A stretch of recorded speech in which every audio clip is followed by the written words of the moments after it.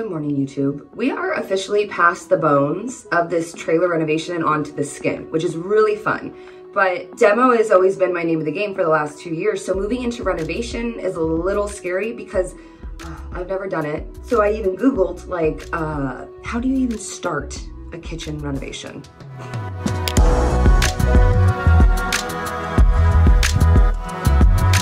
Do we start then? Well, we start with what we know. I do know the appliances that are coming into the kitchen, and I do know that I do not have enough power in that trailer to power the appliances or the mini split. Don't even get me started. I only have enough juice in the trailer to run all the lights and a couple of plugs at the same time. Great. How are we gonna solve that? Let me tell you. Goal zero. Slow clap slow clap for the goal zero because seriously, why not have power that is not only portable, but powerful and just has a ton of capability to be able to continue to charge itself and then also provide the power to the appliances that I will be using. Now that we know how we're gonna solve the power problem, what we need to do next is fit it into the design in the kitchen so you don't see it, but it'll be fully functional for what we need it to be. So that leads us to everything that's gonna power the kitchen. So now we need to do is customize the cabinets to host all of this equipment and also mirror what we need to power. So let's get started.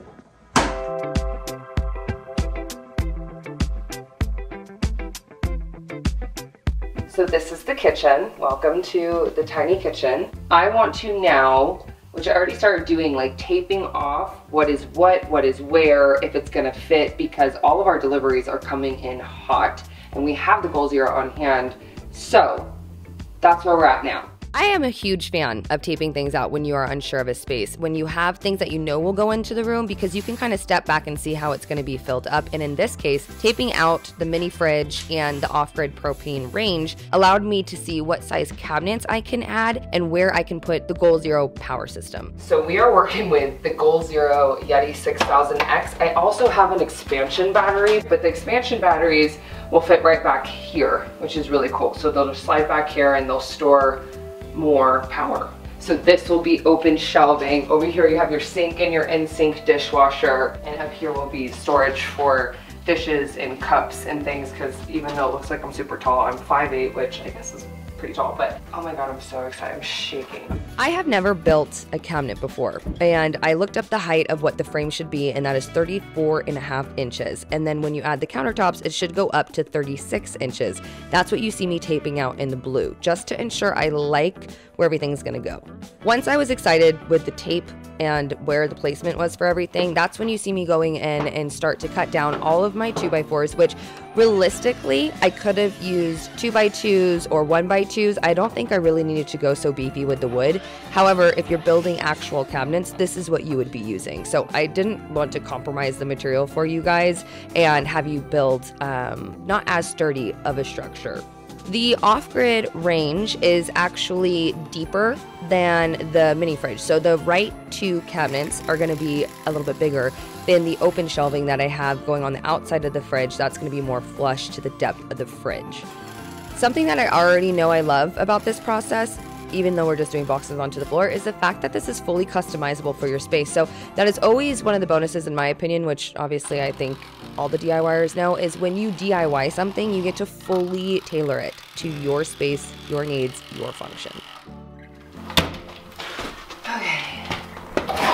Now, that's called a toe kick. That's a place literally for your toes to kick underneath the cabinet to utilize the countertop more comfortably.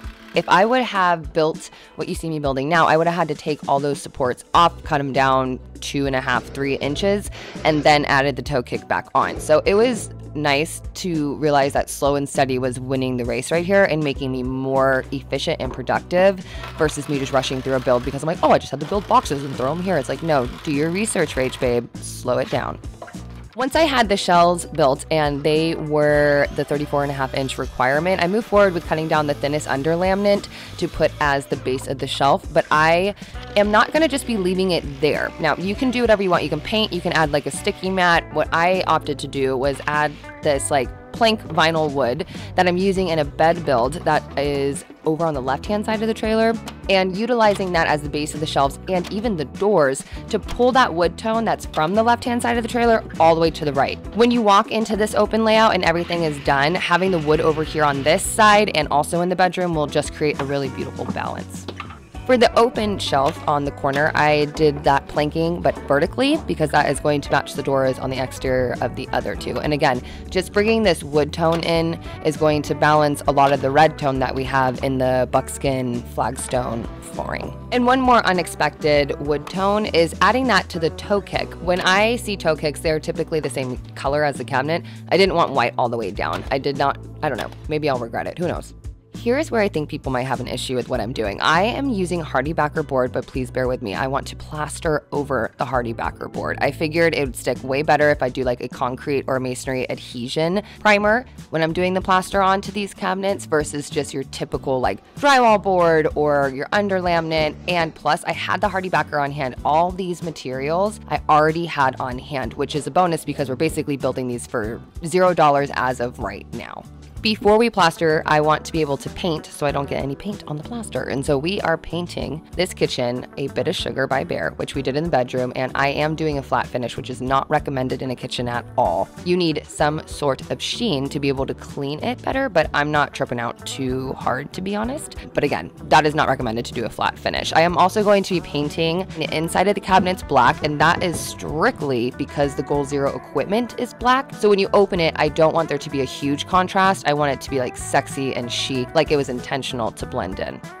Just like I've never built cabinets before, I've never done a drawer, so I definitely learned from my mistakes. Number one, the hardware is really easy to install. Just slide it on out and screw it on in. You see me using a 90 degree angle bit, that red thing attached to my drill, and that just allows you to get into close quarters. So I installed the hardware that way and moved over to making a box that would fit within that space. Now, I do not recommend, one thing I learned by using that thin under laminate, it just kind of felt like a cheap drawer. I highly recommend using at least a quarter inch ply as you build the box. And I opted to spray paint it black again to have it blend in. It wasn't perfect at all by any means. When I went to push the drawer in after installing it, I had to like literally push it so hard. It took me a couple times to adjust the screws to find the right finesse. Once I did, I just capped it again with that vinyl wood that I've been using throughout this whole build to again keep that chicness, keep the texture, keep the warmth unexpectedly. After the drawer actually functioned, I pop on a piece of plywood that I cut down to the size of the opening to make sure that I have the right size wood to make doors later. But before we do that, we're gonna add this metal edging to the HardieBacker to just make corners for these cabinets. Use some fiber tape to go over it to blend that metal to the HardieBacker. And boy, oh boy, we're gonna go on in with this plaster. I mean, read the directions, right? I did a million times. I just didn't know how quick it actually dried. But I poured and mixed the plaster per the instructions and I started using it, and it only really was successful on the first pass on the outside shelf. Oh my god, this is so bad and I looked over in the bucket and within five seconds it was hard as a rock. So I had to like go in with my drill and water and very forcefully remix this plaster. But if I mixed it little by little as recommended and used it within its drying time, we would not be in this situation. when the plaster dry, I came back in with a chisel and just lightly ran across the straight edges of my cabinets and it cleaned it right on up. I even went in with 320 grit sandpaper and just rough sanded where it needed to be, and these things were ridiculously smooth. We're on the theme of never doing things, and I've never built cabinet doors, so I just did the most basic form with plywood on the back that I painted black, popped some wood vinyl on the top, and then to kind of seam the different pieces of the vinyl from the exterior, I added a very thin trim. And I didn't install any cabinet hardware quite yet, I just popped them into place, so just bear with me. I didn't really DIY doors quite yet. I wanted to see what these looked like. When it comes to floating shelves, you can do them a ton of different ways. I have never done this way in particular, but I had the hardware on hand that I totally forgot about. So I found the studs, opened up a hole, and just made sure that I was securing the floating shelf hardware into studs just to make sure it was as strong as possible. Once I knew where the measurements were for that hardware, that's when I just translated it over to the back of this piece of very thin red oak. I also finished the red oak with the Total Boat Honey because it's like a food safe finish. So if I'm throwing fruit or anything up there, it's not gonna harm me.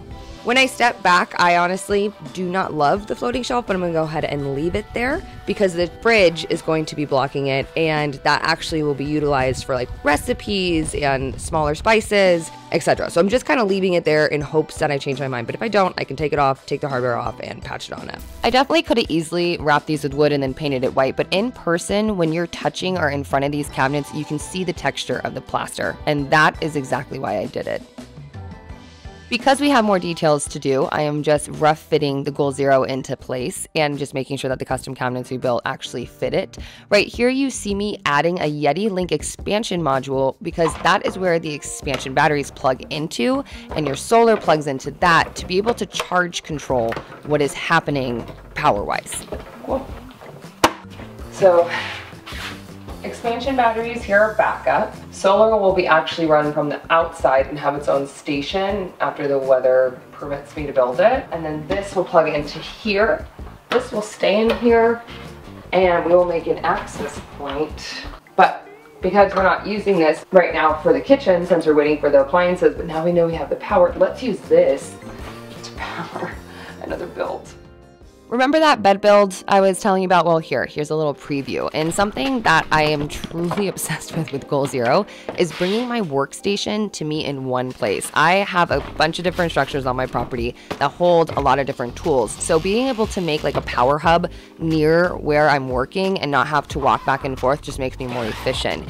And instead of running out of battery with this Goal Zero Yeti 6000X, I decided to pull out my Boulder 200 briefcase, open that sucker up, which is way more lightweight than I anticipated, and plug the extension cable into it and plug that into the Yeti. So the solar is charging the Yeti and it will never die. Solar, baby. You can see the screen change of the input output before the input was zero because nothing was coming in to charge the Yeti. You can also plug the Goal Zero directly into the wall, but I just thought how much cooler it would be to fully utilize the system that I have whenever I could. That's so cool. Powered by the sun. Seriously, Goal Zero, thank you so much for sponsoring today's episode and just integrating into this trailer. I would not be able to live in it without the extra juice. I'm going to be showing you guys exactly how I'm using them basically in every episode moving forward with the trailer. And if you guys want to check out their home backup system, their portable power stations, their solar generators, I have linked everything I'm using in the trailer down below. I mean, you just need to head over to their website and see every single product that they have because there is something for everybody over there to give you power anywhere, anytime, literally for any reason. DIY is so cool. I never would think I would be customizing cabinets around a power station with Goal Zero in my trailer tiny home to be able to then live in it. But it's wild where DIY takes you. So I hope that you guys are DIYing something that you love, whether that's a physical project or just something in your life to make it the life that you would like to live. Thank you so much for the love and support. Again, thank you so much, Goal Zero. I will see you guys so very soon for another DIY.